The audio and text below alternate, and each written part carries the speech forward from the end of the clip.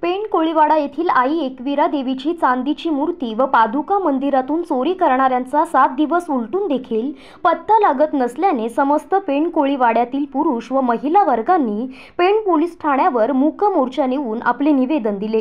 पेण कोळीवाड्यातील आई एकवीरा देवीच्या मंदिराजवळून मूक मोर्चा काढण्यात आला. तो मोर्चा अंतोरा रोड मार्गे कोतवाल चौक डॉक्टर बाबासाहेब आंबेडकर चौक छत्रपती शिवाजी महाराज चौकावरून पेण पोलीस ठाण्यात नेण्यात आला. या मोर्चामध्ये शेकडोंच्या संख्येने महिला व पुरुष सामील झाले होते. पेण पोलीस ठाण्यात मोर्चा गेल्यानंतर पेण पंच कमिटी कोळी समाज यांच्या मार्फत पोलीस निरीक्षक देवेंद्र पोळ यांना निवेदन देण्यात आले.